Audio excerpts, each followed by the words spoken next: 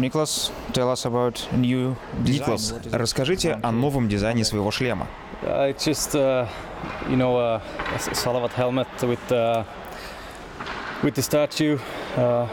Но это такой шлем в клубной стилистике Салавата Юлаева. С одной стороны изображен памятник Салавату Юлаеву, другая сторона выполнена в зеленых цветах, и здесь логотип команды. В остальном, мне кажется, довольно классический шлем, на нем нет ничего лишнего. Вот здесь мой номер, ну и в целом на нем преобладает цвет нашей домашней формы. Я специально просил дизайнера, чтобы шлем был более зеленым, чем в прошлом году. jersey, and uh, I know the designer he made it for, especially for our home jersey with a, with a little bit more green than uh, than last year. So So, uh, why did you uh, decide to Почему вы change решили your сменить design? дизайн?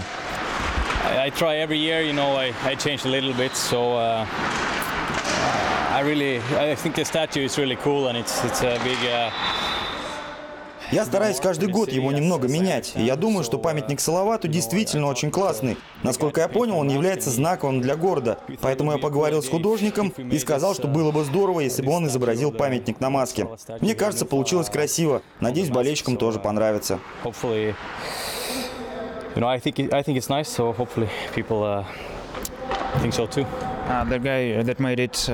Это был uh, художник из Уфы или еще откуда-то? Actually, Swedish guy, it's, uh, David Gunnarsson. He. Uh, Нет, это швед Дэвид Ганнерсон. Он делает огромное количество масок для вратарей, не только для шведов, но в том числе и для игроков из КХЛ и НХЛ. Мне кажется, он очень хорош в своем деле.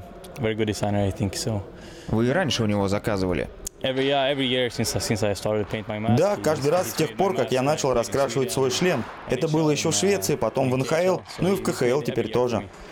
But every year, uh, Каждый год он рисовал вам главного героя из «Крестного отца», но на новом шлеме его нет. Yeah, not every year, but uh, most a lot of years we had a Godfather. Yeah, Ну не каждый год, но очень часто у нас был крестный отец, да. Это началось еще с первой маски, которую мы сделали 7-8 лет назад. У него это тоже любимый фильм, так что это прикольная идея. Но в этом году мы решили все немного поменять. uh. Почему? Как я уже сказал, мне кажется, что статуя Салавата Юлаева реально классная, и мы решили, что она подходит больше.